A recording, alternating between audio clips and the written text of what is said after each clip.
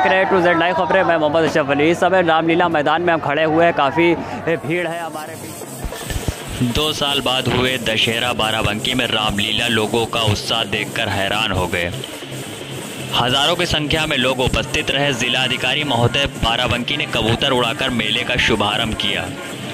सांसद उपेंद्र सिंह रावत, सदर विधायक सुरेश यादव, कांग्रेस नेता पीएल पुनिया की वरिष्ठ नेताओं में मंच को साझा किया।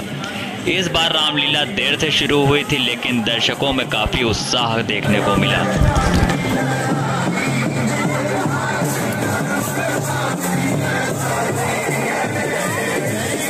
जिलाधिकारी महोदय का श्री रामलीला सभा समिति हाथी बंधन अभिनंदन करती है। जो कि जिलाधिकारी महोदय गुब्बारा उड़ा करके आज के लीला का शुभारंभ करा रहे हैं।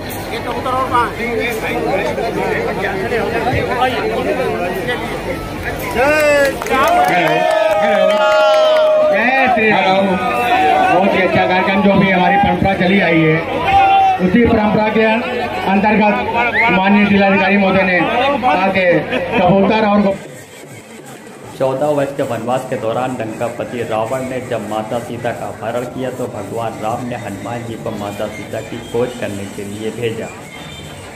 हनुमान जी को माता सीता का पता लगाने में सफलता प्राप्त हुई और उन्होंने रावण को लाख समझाया कि माता सीता को सम्मान सहित प्रभु श्री राम के पास भेज दी। रावण ने हनुमान की एक न मानी और अपनी मौत को निमंत्रण दे डाला। मर्यादा पुरुषोत्तम श्री राम ने जिस दिन रावण का वध किया, उस दिन शारदीय नवरात्रि दशमी तिथि राम ने नौ दिन तक माँ दुर्गा की उपासना की और फिर दसवें दिन रावण पर विजय प्राप्त। इसलिए इस त्यौहार को विजयदशमी के रूप में मनाया जाता है। रावण के बुरे कर्मों पर श्री राम की अच्छाई की जीत हुई, इसलिए इसे बुराई पर अच्छाई की जीत के त्यौहार के रूप में मनाते हैं। इस दिन रावण के साथ उसके पुत्र मेघनाथ और उसके भाई